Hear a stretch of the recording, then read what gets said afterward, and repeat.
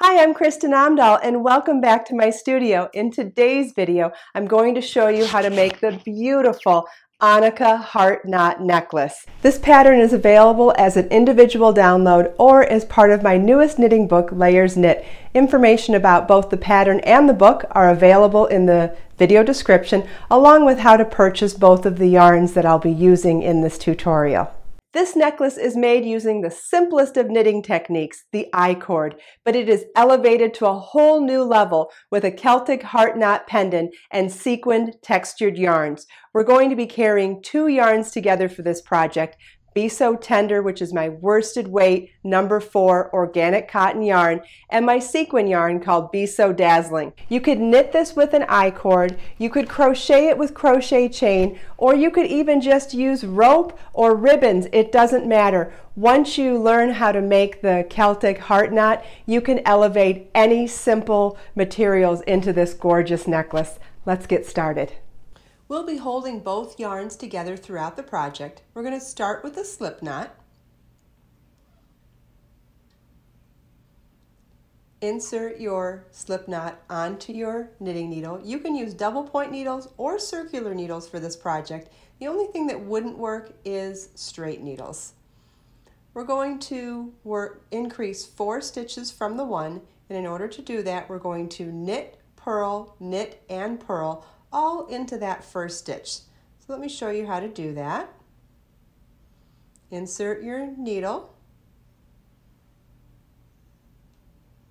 yarn over, pull up a loop. That was with the yarn in the back for a knit one. Now we're going to move our yarn to the front of our needle to purl one into that same stitch. Then move the yarn to the back to knit into that same stitch again and move the yarn to the front to purl into that same stitch again and then we will drop that original stitch off the needle. We now have four stitches on our needle instead of one.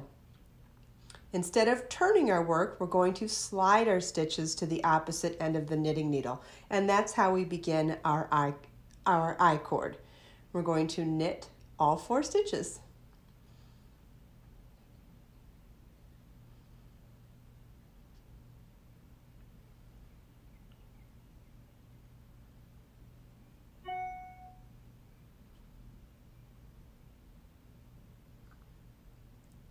In the beginning of an I-cord, it helps to get things started if you gently pull on the tail or lower portion of your work as you go. At the end of each row, we slide our stitches to the opposite end of the needle before knitting all of the stitches. Notice how our yarn is on the opposite side of where we're going to work. And so as we pull it over, that's what's going to spiral and pull our stitches together to create that beautiful cord instead of rows. So now we will knit across all four stitches.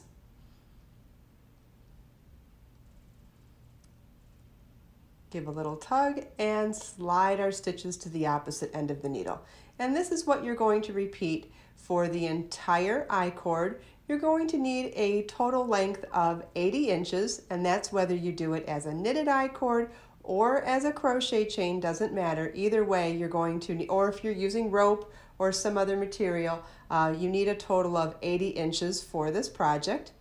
And then the only other thing that you'll need to know about the I-cord is that in order to taper the end to look like our tapered beginning, where we started with one stitch, then increased up to four, is we're going to have to reduce our stitch count back down to one stitch. And we're going to do that with a knit four together. So we're going to insert our knitting needle into all four stitches if it helps, you can pull on your work to elongate the stitches to make room for your needle to get through all four.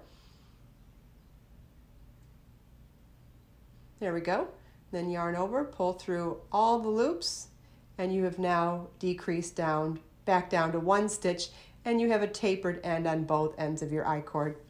When your I-cord is 80 inches long, you'll want to fasten off and then sew the beginning to the end of these I-cords and weave in the loose ends. Okay, this is what the finished necklace should look like. So I'm gonna put this off to the side for a second and we're going to take this second cord and we've already, it's already been made into a loop. So we're going to make sure it's laying flat. You want to make sure that your cords do not overlap each other. You want them to always be side by side throughout the project. So we have it folded in half and we're going to take the left side and fold it to the right and take the right side and fold it to the left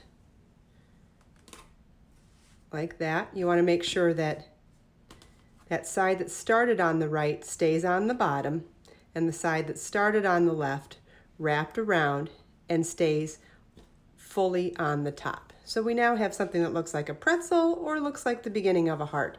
And at this point, you know, you may need to do this a couple of times to get the hang of it, but the best way to keep everything moving smoothly is to tighten up as you go. We want this to be to become tight like the finished knot in this necklace. And in order to do that smoothly, you want to keep working on your you want to keep working on keeping it tight as we go. So we're going to tighten this up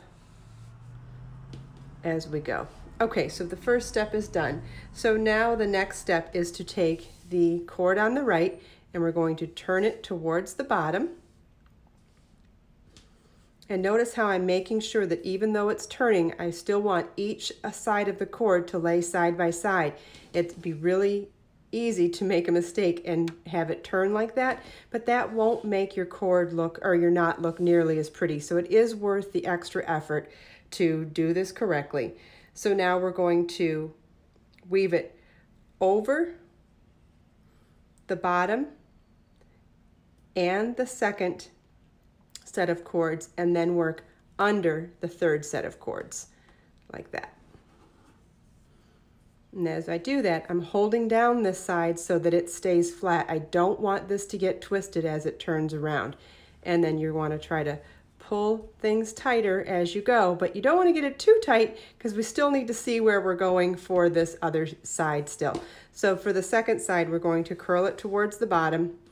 We're going to work under the first set of cords, over the next set of cords, under the next set of cords, and over the last set of cords. And there we have our finished knot. Now notice I don't have both sides even. I have to work on tightening this still. And this is something that, this is where you may need to do your whole necklace more than once to get the hang of it because it, it does take a little bit of finessing to get everything tightened.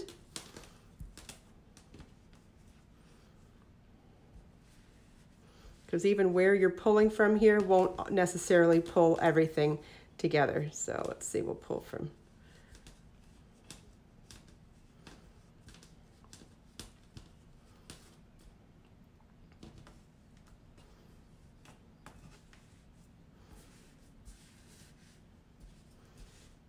Oh, that's pretty even.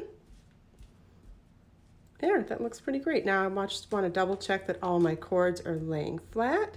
Yeah, they're all laying flat. So now this is the necklace that we did with the crochet chain, and here's when we did it also with the knitted I-cord, and you can see it's the exact same beautiful knot, and the beauty of it is in the fact that we had the cords laying side by side. We didn't let them twist, and that's what gives it that gorgeous texture.